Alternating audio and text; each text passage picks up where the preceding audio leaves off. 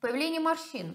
Гиперактивность была, ботулинотерапию не проводили и уже сформировались морщины. Морщины формируются как за счет того, что у нас с вами выраженная гиперреактивность мышц в области лба, так и за счет того, что у нас с вами бывает очень часто достаточно сухая кожа в области э, лба и лица в целом. Соответственно, сухость кожи также у нас с вами будет провоцировать формирование морщин и заломов.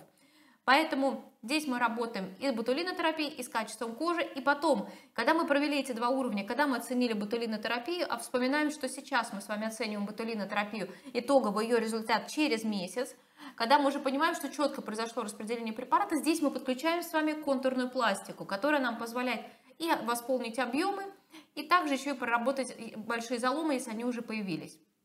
И изменение лицевого скелета – это то, на который, та подложка, на которой мы с вами работаем.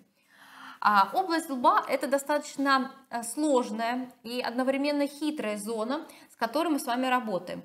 А область лба – это а, зона, которая опасна для субдермальных инъекций иглой. И мы с вами помним, что, посмотрите на картинку, здесь показано четко, что большое количество сосудов залегает достаточно а, нас с вами активно в области лба.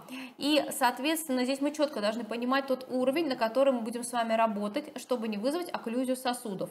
Очень часто у нас с вами используется э, в работе э, больш, э, достаточно большое количество объемов, и мы их с вами раскладываем в область лба непосредственно именно конюлей.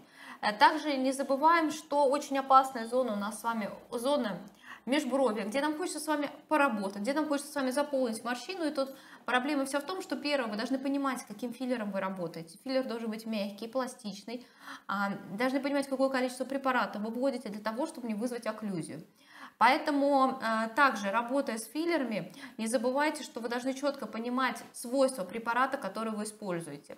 Работать только с сертифицированным препаратом. Я